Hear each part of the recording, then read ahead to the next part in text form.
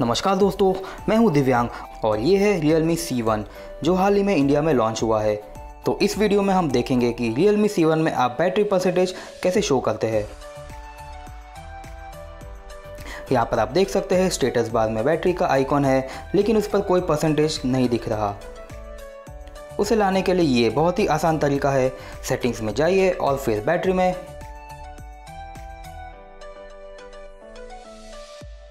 यहाँ पर एक ऑप्शन मिल जाएगा, जहाँ लिखा है show battery percentage on status bar बस इसे स्विच ऑन कर दीजिए और अब आप बैटरी परसेंटेज स्टेटस बार में देख पाएँगे।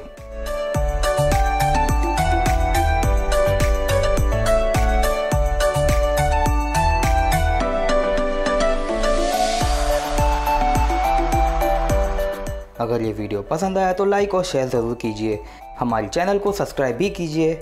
हमने रियलमी सी का अनबॉक्सिंग वीडियो भी शेयर किया है। वीडियो की लिंक डिस्क्रिप्शन में आपको मिल जाएगी। इस वीडियो को देखने के लिए धन्यवाद।